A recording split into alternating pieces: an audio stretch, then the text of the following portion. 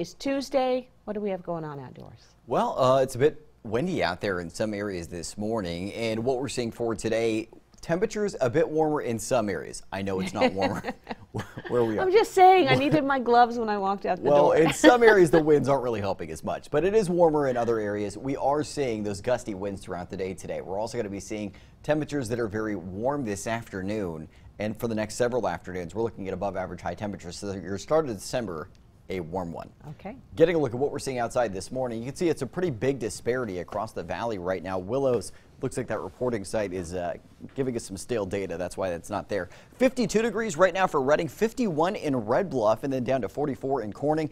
41 right now for Chico, 37 degrees currently for Oroville. So the swing here is 15 degrees between Redding and Oroville right now. We're seeing mostly 40s in the foothills, teens to 20s in portions of the Sierra and Southern Cascades, and we're seeing 30s and 20s in the northern mountains. Winds right now out of the north to 10 miles an hour in Redding, 9 miles an hour in Red Bluff. And you can see the strongest winds for the valley are along I-5, specifically in those areas of Shasta and northern Tehama County. Meanwhile, I'm also tracking some very gusty conditions in the Feather River Canyon right now.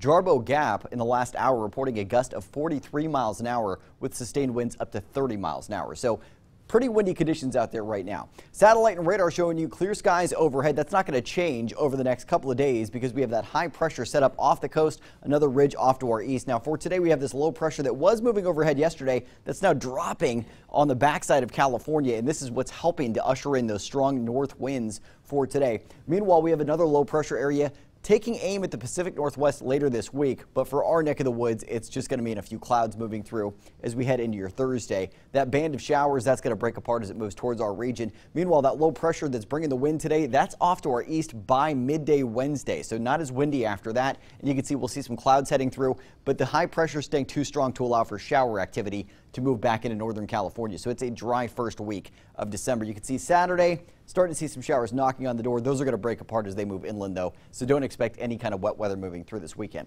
Getting a look at what we're seeing for today, mostly sunny skies, temperatures 50s to lower 60s in the northern mountains this afternoon. If you're in the Sierra today, it's 40s to 50s later on this afternoon, 55 degrees in Burney, 51 for Chester today. Foothill areas expected to see mid 50s to mid 60s later on today, up to 64 degrees in Paradise, 63 degrees for Forest Ranch. And if you're in the valley, high 60s expected in the northern zone. Some areas may hit 70 degrees this afternoon. 68 is what's projected for Redding, 67 degrees projected for Chico, and 66 degrees for Oroville. We'll see mostly sunny skies in the mid valley. Wind in the valley out of the north up to 20 miles an hour today. Could see gusts up to 30 miles an hour. So windy out there today, not as windy on Wednesday. Your storm tracker seven day forecast where your weekend's always in view. Mid to high 60s for the next seven afternoons in Chico. Overnight low temperatures starting to dip back into those mid 30s later this week. So it's going to get cool out there and with lighter winds, frost will be a factor during those morning hours. Redding breezy today with mid to high 60s, flirting with 70s on Wednesday with lighter winds,